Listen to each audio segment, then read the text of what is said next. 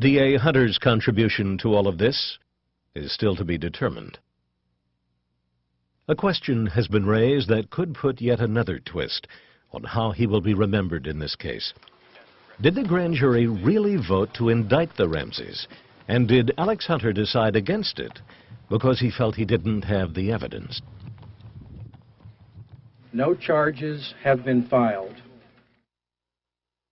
He told us he could not comment on what the grand jury did, but he did say I mean, I can point to cases, and, and you have talked about cases, um, where the prosecutor is pushed to move. I frankly think the prosecution in O.J. was pushed to move by the Cochran group too quickly. I think they fell for it. It was lost. It's over.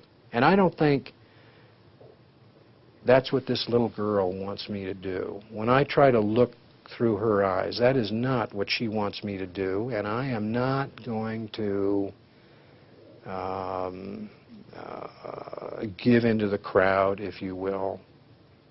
I'm just not going to do that.